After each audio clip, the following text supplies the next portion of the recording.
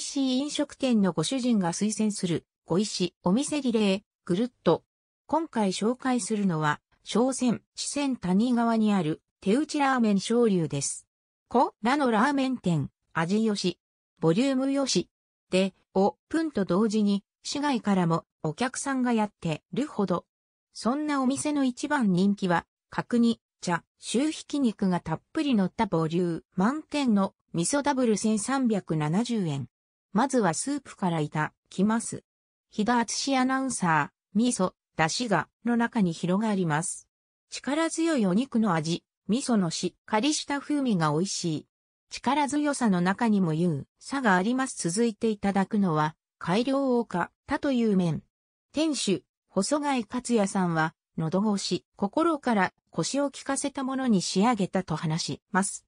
ひだあつしアナウンサー、つるつる餅、地で喉越しも最高なのですが、食べ応えもりますお次は、しっかりとした味付けなのに、べ飽きない、とろとろな角煮。ひだあつしアナウ、さあ、角煮界の金メダル。タレの味がしっかり、見て、とろっとしています。醤油細貝勝也さん。体的にまろやかに、旨味を中に閉じ込める、うにしているお肉は、角煮だけではありません。厳選した豚肉を使い、程よい油と肉の旨を感じられるチャーシューは、ひだつし穴、んさー、油の甘みにあっさりした風味。豚肉のがちゃんとわかります。みんな、スープ、麺、材が競っているようで、実は共演しているん。すげ美味しい一杯を食べて、元気になってほ、いという細貝さん。開店当初からの看板目に、ラーメン790円も、原点回帰と言うべく、時代の図に応え、さらに美味しく改良しているの。そう。そして、昇竜では、お店で出しているラー、ンや角に、チャーシューの真空パックなど、宅でも楽しめるテイクアウトを用意しています。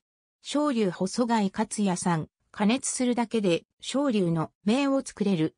値段は2から3割安く設定している。た、細貝さんは、町のみんなも頑張っているとし、昇竜の商品だけでなく、小千谷市内の飲食の商品もテイクアウトで販売しています。ま、まだ味を追求しつつ、ウイルス化でも町のイン、店と共に頑張る昇竜。ボリュームたっぷり、メニューで元気をもらえるお店です。手打ち、麺昇竜小千谷市先谷川2の8の8電話0258-83-3770